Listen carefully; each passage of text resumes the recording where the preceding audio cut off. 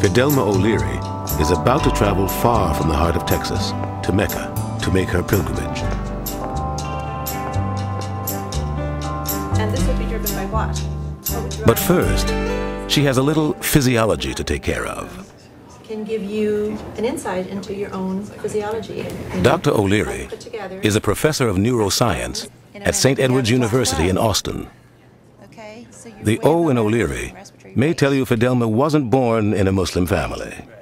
She was raised Catholic, and by the time she was in college, she was already questioning her faith. I was listening to a call in radio show, and some guy called in and said, Well, what I don't understand is this. If Jesus was God, how could he worship God? It's amazingly inconsistent. For Fidelma, the caller gave voice to a yearning, and questioning turned to conversion. This is what I think of as my light bulb moment. This was the moment when all the pieces finally locked and clicked. And I knew that Islam was the religion for me. I just embraced it and loved it. Back in Texas, Fidelma has a few more wardrobe choices than Ismail. You don't love this? Islamic law stipulates she must dress modestly. Very, very comfortable. For Hajj, you want more like this kind. Yeah. Nice. In Saudi Arabia, that includes covering her hair. you have, you have this There's a trick. You want me to try that on? What do you think of this? Um, I don't think they'll like the pants. There's not only a dress code for pilgrims. Nice. The Saudis mandate that pilgrims travel in groups. Fidelma is going in a group with fellow Texan Amina Rather. So it's fine. You like this? Okay, I think this is the one I'm going to get.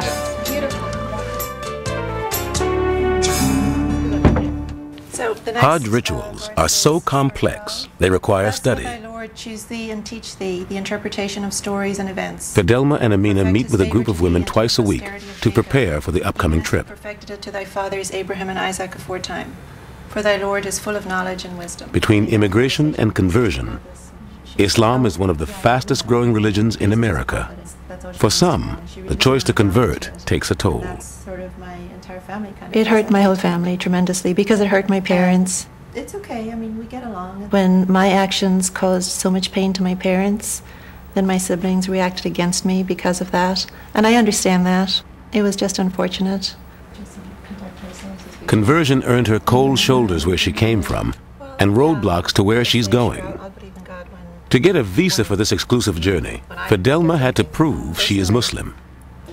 I had to get a certificate from my mosque saying that even though my name doesn't sound Muslim, I'm actually a legitimate Muslim.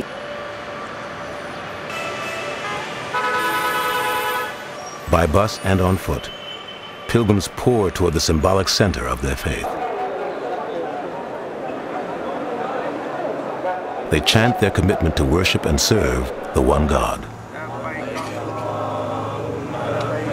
This is the theme song of the Hajj, the Talbiyah, and pilgrims will chant it hundreds of times in the coming days. At your service, here I am at your service. There is nothing worthy of worship but you. Here I am, O Allah, at your service. For Muslims who have prayed in this direction every day for years, seeing the Kaaba for the first time is almost overwhelming. I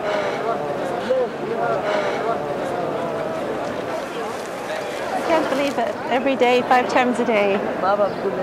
Let's go from here. Let's go. I can't believe it. Let's go right here.